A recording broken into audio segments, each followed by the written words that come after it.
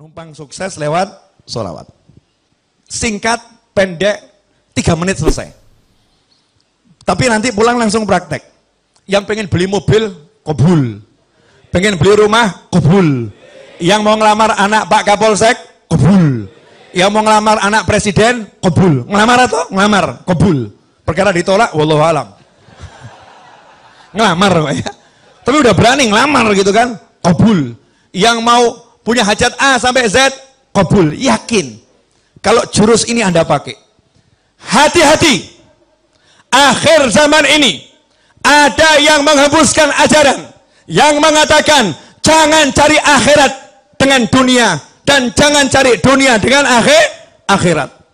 Kamu nggak boleh pakai solawat untuk urusan dunia. Kamu nggak boleh pakai wirid untuk urusan dunia. Kamu nggak boleh pakai yang namanya zikir untuk urusan dunia. Lihat itu, Rasul bersabda, siapa yang hijrahnya kepada dunia, dia hanya akan dapatkan dunia dan wanita yang dia nikahi. Hijrah saja, kalau nggak untuk Allah, nggak dapat apa-apa. Masya Allah, ini pemahaman sesat dan menyesatkan. Banyak dihembuskan lewat pesan WhatsApp dan mungkin juga beberapa keterangan. Alhamdulillah saya tidak mendengarkan. Halo, Kok lihat saya nggak enak kenapa ini? Jadi ada orang sekarang ini suruh baca salawat nariyah takut. Suruh baca munjiah takut. Kamu mau beli mobil baca nariyah. Ngomong, Habib, apa enggak musyrik? Apa enggak cinta dunia itu, Habib? Masa solawat buat beli mobil? Solawat kan buat dapat syafaat. Solawat kan buat dapat syafaat, bukan buat dapat mobil. Masya Allah. Koplak ini. Ini gagal paham tingkat tinggi. Gagal paham tingkat tinggi. Solawat itu jangan kamu batasi dengan satu kata syafaat. Syafaat itu salah satu bagian, salah satu bagian dari manfaat sholat, solawat. Tapi di antara manfaat solawat, saya jabarkan tiga menit, perkara tiga menitnya melar jadi 30, wallahu alam. Boleh ya? Coba saya jawab jawab pertanyaan saya dengan jujur. Kalau Anda pengen sesuatu urusan dunia, pengen mobil, pengen rumah, pengen punya pasangan hidup, pengen punya apa pun yang ada di dunia ini, mintanya ke siapa? Mintanya ke siapa? Jawab yang keras, mintanya ke siapa? Allah, betul? Kalau Anda pengen sembuh dari sakit kepala, mintanya ke siapa? Kalau ada orang pengen sembuh dari sakit kepala, mintanya ke obat. Itu musyrik atau enggak musyrik? Musyrik. Kalau ada orang mau beli mobil, mintanya ke duit. Duit, aku mau beli mobil. Musyrik atau enggak musyrik? Musyrik. Ada orang mau sukses, mintanya dengan perencanaannya. Musyrik atau mukmin? Musyrik. Semua harus berawal dari Allah Subhanahu wa taala sakit kepala, ada obat, pengen sembuh. Allahumma sembuhkan sakit kepala saya, ambil obatnya. Tahu ini sarana, diminum dengan minta kekuatan dari Allah. Bismillahirrahmanirrahim. Betul? Kalau mau beli mobil, minta sama Allah. Ya Allah, beri saya mau mobil. Ambil duitnya, berangkat ke toko, beli mau mobil. Tapi mintanya pada Allah subhanahu wa ta'ala. Betul atau betul?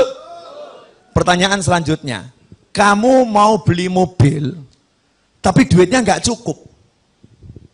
Maju atau mundur?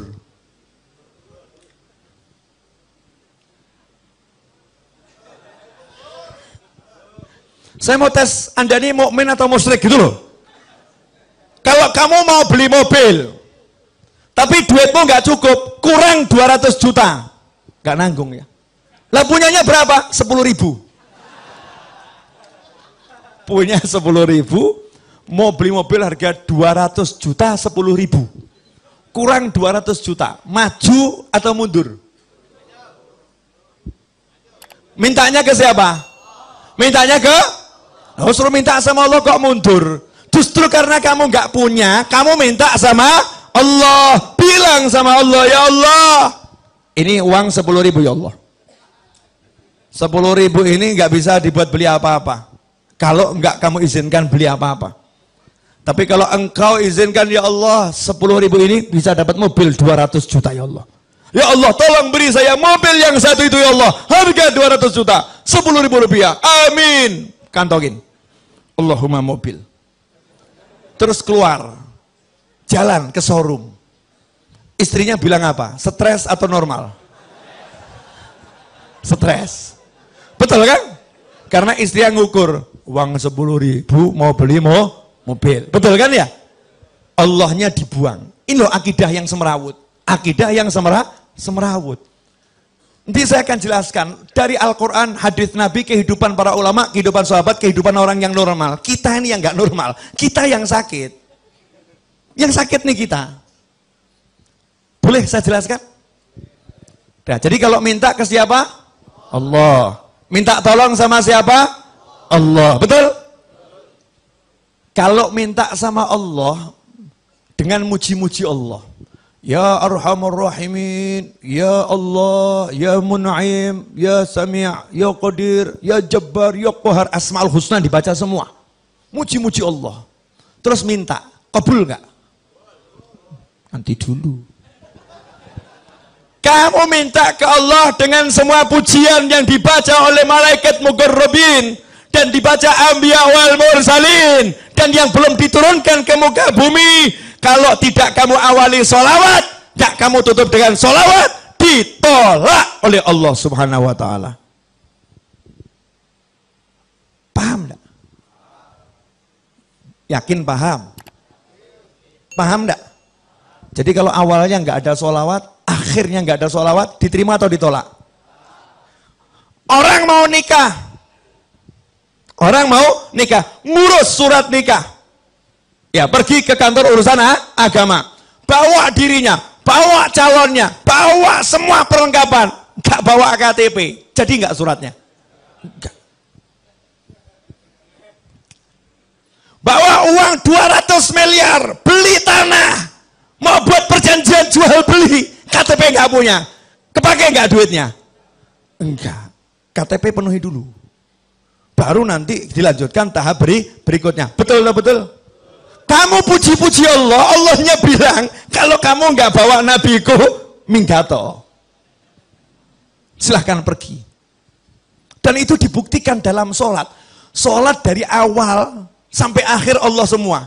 Bahkan Al-Quran, Al-Fatihah, Umul Kitab. Habis itu kamu baca 30 juz. Giliran atahiyat, kamu udah puji-puji Allah. At-tahiyatul mubarakatul salawatu tayyibatulillah. Kamu syahadat. Tapi kamu gak mau sholawat. Kamu gak mau sholawat sama Nabi di atahiyat akhir. Apa kata Allah? Selesai, batal sholatmu. Tidak aku terima. Masya Allah.